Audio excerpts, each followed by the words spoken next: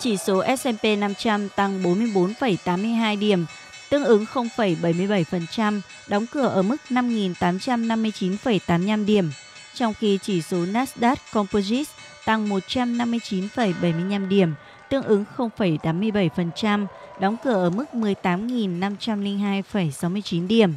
Chỉ số trung bình công nghiệp Dow Jones cũng tăng 201,36 điểm, tương đương 0,47% lên 43.065,22 điểm.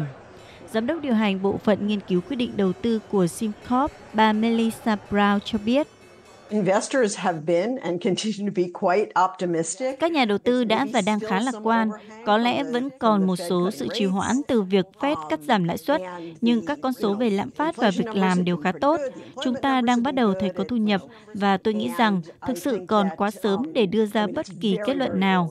Như một vài báo cáo thu nhập mà chúng ta đã thấy, tình hình khá tốt và tốt hơn mong đợi. Và vì vậy tôi nghĩ rằng tất cả những điều này đang thúc đẩy tâm lý lạc quan. Trong bối cảnh thị trường chứng khoán liên tục biến động, các động thái của Fed đều chi phối thị trường và vì vậy nhà đầu tư thường cố gắng đoán trúng hướng đi của ngân hàng trung ương để hành động.